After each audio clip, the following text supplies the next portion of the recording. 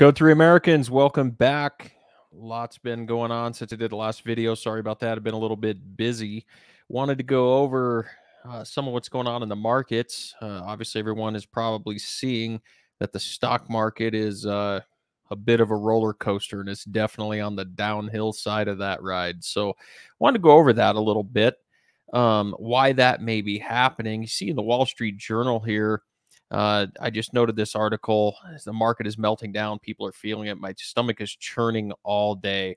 I've, I've talked to people over the last few weeks. Some have sold entirely out of the market. I talked to a good buddy of mine the other day. Said uh, somebody in his family sits and watches the market every day. Uh, said they've lost a half a million dollars uh, uh, just this year in a fairly short amount of time. But my question is, did they really lose it? Was it ever theirs? Is it ever really real? You know, my good buddy Russ Gray co-hosts the Real Estate Guys radio show, uh, international show, been on the radio for 25 years, and he says all the time, equity isn't really real, really. Well, why is that? Well, we're seeing it right now. Until you can extract that equity, whether it's out of the stock market or out of your home equity or real estate or whatever the case may be, it's not really real. It's just wealth on paper, which is exactly why the Federal Reserve doesn't care if the stock market goes down. They want to slow inflation. They want to slow consumer spending. They want to slow people's ability to borrow. And people, when they have wealth on paper, they feel rich. So they spend more. It's called a wealth effect. So anyway, I, am going to get into a little bit of why this is happening in the stock market and what what may be to come. But I really wanted to look at this article to illustrate Russ's point so well that it's not really real. So I was talking about this chief uh, uh, um, chief investment officer at this firm is taking calls from clients saying, "Hey, move me all to cash." They're panicking. You know, they they want their investments so they can enjoy life and so forth. You know, it's easy if you're 30 years old, say, oh, "I'll just write it out," which is a whole other thing we're going to talk about here in a second. But what if you're 70? What if you're 60? What if you're 65 and you're right at the point in your life that you need that money to be able to uh, um, retire and live the life that you've been working your life to build up, you know, but you've been conditioned that the stock market's the only place to be for, for the life of me. I still don't understand that. Well, I guess I kind of do. I mean, my, my, my kid was just getting quizzed on this in school. She's only in junior high and, and I'll share some of that here at the end if we got time. But it's just crazy that to me, the the more I get around other opportunities, it's just crazy to me that anybody would go into the stock market. And in fact, um, I'm looking at a slide we did last fall in November, and we were showing record valuation for money losing tech companies. And I brought that back from the October New Orleans Investment Conference, and it just showed these these tech companies that were uh, record valuations when they didn't even make a profit. Well, how those are in the Nasdaq. How's that getting treated right now? The Nasdaq's getting hammered. Well, that's because the easy money band from the Federal Reserve has stopped playing. And now all of a sudden the air has to come out of that balloon. Guys, we were saying this was going to happen last fall for anybody that was following the content and paying attention. And I, I said here, I'm looking at the slide. Uh, I pulled it up from last fall in red. I put the stock market has morphed into enormous casinos. And that's what we're seeing. Um, so I want to show you this article. Says stocks and bonds are getting hammered and so forth. You know, families are watching the investments they meant for down payments for college tuition or retirement shrink day after day.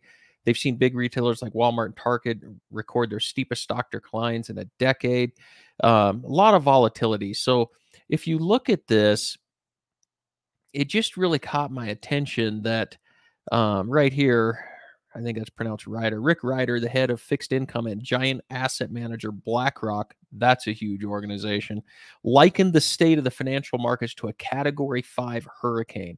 The veteran bond trader has been in the business for three decades and said the, the rapid price swings are unlike anything he's ever seen.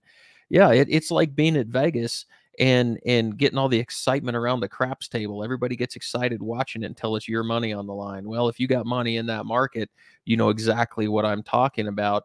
And I want to point out where this may be to, may be going so that people can make good decisions um, if you haven't already. So let me show a chart. This is same thing we talked about last uh, last fall and early this spring.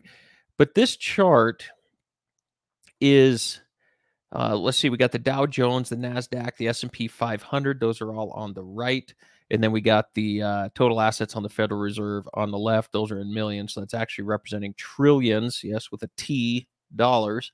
And just look, I'm not going to go way into the weeds on this, but as, as you've seen in our past videos, we point out these rapid uh, uh, increases in the balance sheet of the Federal Reserve. And then all of a sudden, the stock markets and home and the same thing for real estate and other things as well they start going way up in value. That's because easy money was floating through the economy. People were able to borrow. People were able to lever themselves up.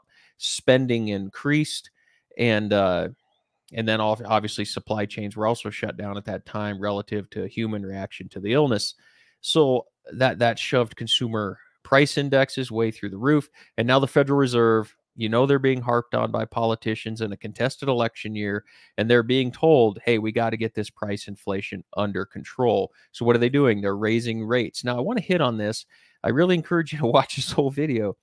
I want to hit on this. The Federal Reserve's only raised the, the target rate twice, and they've only done it by 75 basis points. I mean, everybody's freaking out, and they've only moved it by 75 basis points. I mean, we're, we're at around 75 basis points, which is three quarters of a percent to 1% for the overnight federal funds rate. That's all they've done, guys. And, and everything's freaking out already. And we talked about that months ago that as they raise the rates, the equity markets are going to have to get unstable. And then it'll be a question of how far can they go, how long can they go, and how resolved are they? How much are they willing to break those markets? Well, right now, they're certainly uh, willing to break the markets. This is uh, the White House downplaying Wednesday last week the drop in the stock market, saying it's something they don't watch every day. And uh, so my uh, yeah, right here, nothing has changed how we see the stock market. Um, that's not something that we keep an eye on every day. Well, you have to ask yourself, right, wrong, or indifferent. The reality is, consumer prices are killing wage earners, the poor and middle class, and they've uh, the, the last couple years have enriched asset holders. So the the administration saying, "Hey, we're we're going to attack the equity positions and we're going to bring prices down so that the average Joe and Jane out on Main Street can afford to pay their rent and groceries and so forth." And that's what they're doing. So you have to look at kind of the cross currents, as George Gammon would call them. There's so many cross currents in all this. You have to look at the politics of it. Yeah, the Federal Reserve's independent, but Jerome Powell works, and he was appointed uh, by by Biden, and then he was confirmed by Congress. So politics is, is economics, as Danielle DiMartino Booth would say, and she used to work inside the Federal Reserve in Dallas. So anyway, I wanted to point out though here, look at these numbers. Dow Jones, uh, it's up a little bit today, so this is uh, just a little bit old, but just over thirty-two thousand on the Dow. My point is this: it's falling. The Nasdaq's falling. The S and P 500 is falling. Why? Because they're they're quitting. The Federal Reserve has quit purchasing um, or I should say, quit quantitative easing. They've quit flooding easy money into the market. They're tightening up, and uh, and the easy money band has quit playing, and now we're seeing the results of that. All that air in the balloon, everything that was speculative, is coming out. People are buying into the stock market, buy low, sell high, and they feel rich, like they're like they're getting all these gains. But but look at this. This is why Russ says it's not really real, really, until you get it out of there. So if you look today, we're at just over 31,000. If you back up in time to get to that same spot, just over 31,000, you're going to be somewhere around February 2021. This is May of 2022. So you have to ask yourself, what has really happened? Well, what's happened is you've went backwards in time a year. And what are your gains over that year now? Zero. And you probably, depending on what vehicle you went into the stock market, you may have paid taxes on that money before you went into the market. And this is my point, guys. There's so many opportunities out there to where it does not imprison you into this stock market, where if you leave early, you're either taxed going in, you're taxed going out, you're penalized coming out if you leave out of your IRAs. There are so many tools out there, guys, where you could have your money having the same or better tax benefits and not be in jail, not be imprisoned under under fear uh, of the duress, you know, under duress of if if I if I leave earlier, if I want to shift my position with a shifting economy, um, that, that I'm going to be punished. You don't have to have that fear. There's ways you can do it and still invest in things and move money around and have the same or better benefits. So this this is absolutely, you know, people say, "Oh yeah, Dave Ramsey says stay on the bus and the only people on a roller coaster that get hurt are the people that jump off." Well, okay. But the point is, even if this comes back up, even if this comes back up to where it was, you have to start running your returns over how long. This is still lost opportunity time. There, there's a there's opportunity cost to this time, whether it's two months, six months, or six years. You could have been in cash flowing investments that weren't hinged to this market and been getting that money paid out to you uh, month over month and not had to deal with this. This is all speculation. And if you need this money at a time in your life that now you got a choice to make, well, I either take some losses or I pay some penalties or whatever the case may be. I just, for the life of me, I don't understand uh, why why folks are doing that. Um, there, there, are, like I said, there's so many better options. And uh, here, I just wanted to hit on this to kind of illustrate my point because the reality is this: CPI is still up, inflation's still up. It's probably easing back. That's called disinflation, not to be confused with deflation. That would mean coming, you know, prices coming down. But essentially, inflation will probably slow. But the reality is, it's what what the damage that's been done is here to stay. And as it starts to slow, maybe they will back off some. But right now, they're attacking it hard. And here's the Kansas City Federal Reserve uh, President Esther George saying that uh, interest rates are needed now to bring down inflation, and policymakers are not focused on the impact it's having on the stock market. So if you look here, the quote is I think we're looking for this for I think what we're looking for is the transmission of our policy through markets understanding and that tightening should be expected. So it's not aimed at the equity markets in particular, but I think it is one of the avenues through which tighter financial conditions will emerge. So what are they what's she saying? She's saying it's going to get tighter in those markets, in equity markets. So this is uh completely predictable, guys. Um, this is not a surprise.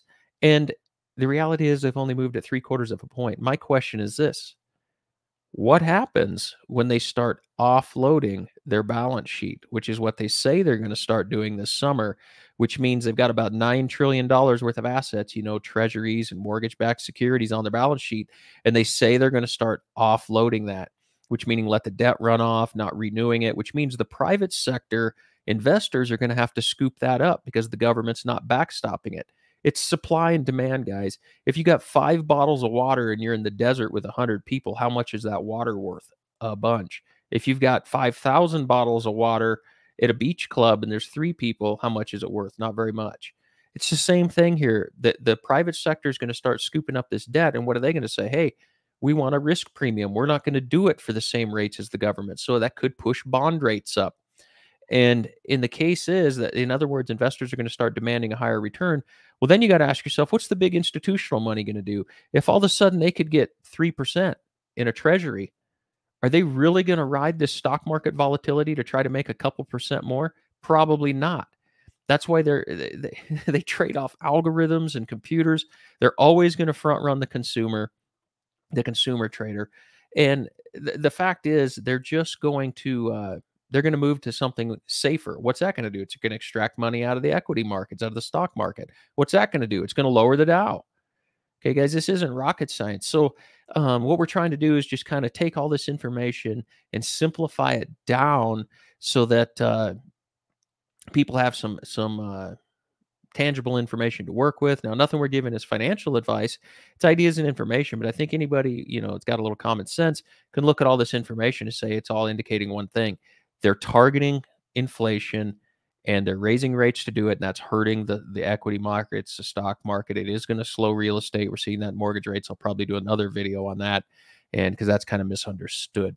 So anyway, guys, there are so many better options out there, and this is the whole point of Code Three Assets. We're saying why build in single point failure into your life because the, the reality is when you go into that stock market you're you're tethered to it everybody's afraid I've, I've taken numerous phone calls from people that that want to sell but they don't want to pay the penalties or they don't want to pay the tax uh, my question is why are you in something that gives that much control over you to where you can't pivot as the world pivots because do you think blackrock pivots you're darn right they do when the world starts to change they are moving money around but you're not allowed to. Not if you put yourself in a jail cell where you have a six by six square box to operate in.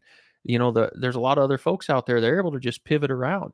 And that's what's not being told to you at Wall Street, or I'm sorry, about Wall Street. Everybody's just saying, oh, that's the, the thing, get in there for the long term. But my question goes back to that chart I showed you. What happens when maybe this thing stalls out for a while, continues, and, and it sets you back a year in time. What if you could have just been making a, a stable 11% or something cash flow over that year and then another half a year to recover? Pretty soon you have to kind of project that out and say, where am I better off? This is why we're saying, this is why I said, quote, the stock markets have morphed into enormous casinos, end quote, in November. It's a buy low, sell high scheme. And then all of a sudden the equity dies off and people feel like they're losing money. As Russ Gray would say, it wasn't real. It was air in a balloon. Whether it's high, whether it's low, it's not real until you cash it out.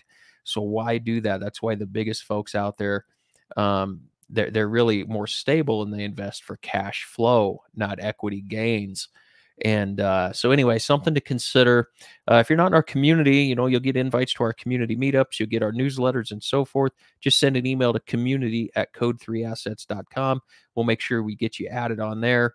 And this is the whole point again is we're code 3 Americans. We're saying, "Hey, why build single point failures into your life?" because here's what here's what we've talked about on other videos. The reality is this you need the government now to fix this stock market issue. If you bought when the Dow was say 34,000 and you're upside down right now, well, we either need higher earnings through companies. The last quarter of GDP was 1.4% down. So there was a, a shrinkage there. Uh, fuel prices are through the roof. Consumer spending may be dropping. What's that going to do to companies that make profits? Could slow it. So, what are you going to need to get your equity numbers back up? More easy money. So now you're relying on politicians for your own health, wealth, and well being. The question is, why are you doing that? There's real assets out there that, that give you tax benefits and cash flow, keep you out from under the thumb of central planners and politicians. So you don't have to ride these roller coasters. That's the whole point of being a Code 3 American. With that, we'll see you next time.